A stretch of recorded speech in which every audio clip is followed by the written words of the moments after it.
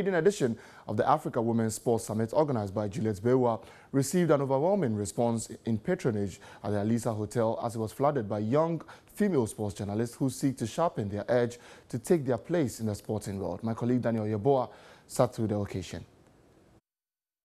An event to bring together great female minds with rich experience in sports across Africa was put together in Accra on Wednesday. The first edition drew a large number of participants eager to learn from the speakers who shared their experience as women in the sports sector. The four hour event thrilled participants with speeches by A's broadcaster Nana Aba Anamoah, sports journalist Eva Ochri, Carol Tshabalala from South Africa, and Uganda journalist Asha. Juliet Bawuah, who is the founder of the summit, expressed her joy at the success of the maiden edition while struggling to hide her emotions when discussing the struggles women endure chasing stories in sports. In 2010, I felt like calling it quits after the um, World Cup because that was my first World Cup and I was a young journalist you get to hear stories like back home, you are on field reporting and everything. You think, oh, you're doing a good job. The team, Black Stars, they were doing well. Everybody's happy in camp. You get to hear stories back home. Oh, Juliet is doing this, Juliet is doing that. It really broke me. So after 2010, I wanted to call it quits. I, I thank God I didn't do it.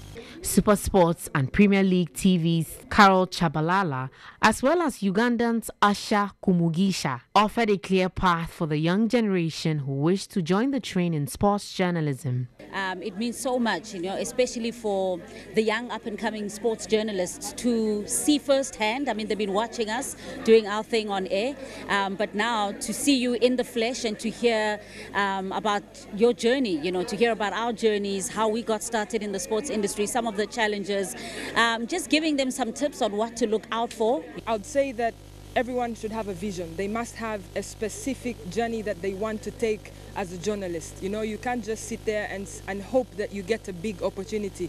The opportunity, when it comes, it, it should find you in a proper place. Some participants told TV3 of the immense knowledge they have picked up from the summit and hoped it will be frequent. I think the summit has been great. It's an eye opener on many fronts for a lot of us as um, a female sports journalist. You know that there's a lot of challenges when it comes to the sports industry and telling the story sometimes there's a need for fraternity. I mean that there's a need for you to learn from others who are doing tremendously well. Um, I can say I just learned a lot.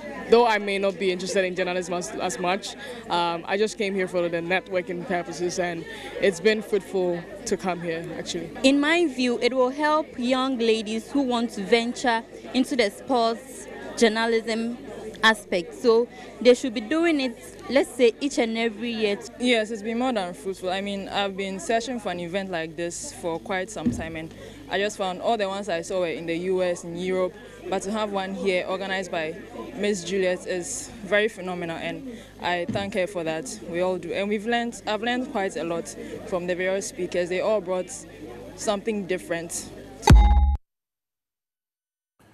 Well, it was certainly a phenomenal event there. Congratulations to Juliet Bawuah. But some more stories on Super Sports and Premier League TV journalist Carol Tshabalala in an interview with TV3 Sports admonished female, uh, young female sports journalists to succumb, uh, not to succumb, I beg your pardon, to sexual requests from employers, but also uh, show their talent by working on their craft haven't really encountered that, but I know of many a situation where um, some of my other female colleagues have found that it, it's made the road easier um, to give into some of the sexual advances to, you know, advance their careers.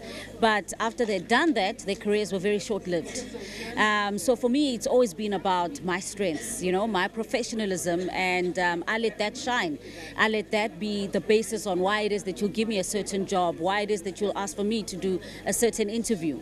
Um, so that's that's all I've done is I've really focused on um, perfecting my craft, being better and better, and that's the first thing that will shine. When you see me, it won't be about what I look like and your sexual advances. It will be about my talent and wanting to me wanting me to be, you know, on air and to and and to take a particular job.